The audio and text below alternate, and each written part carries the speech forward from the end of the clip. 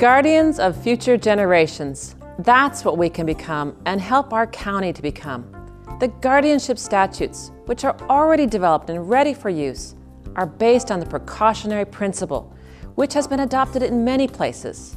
Join us on April 19th and 20th when we'll discuss how to protect our future and the future of coming generations.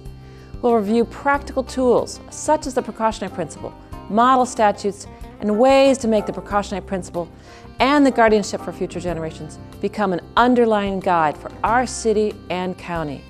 This free workshop is sponsored by the Women's International League for Peace and Freedom and many other organizations in Santa Cruz County.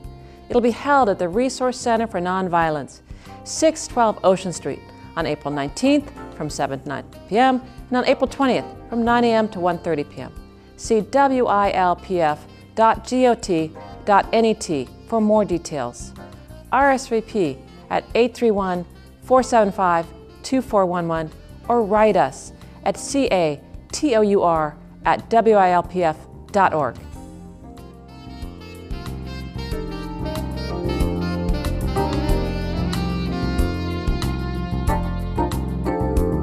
Thank you.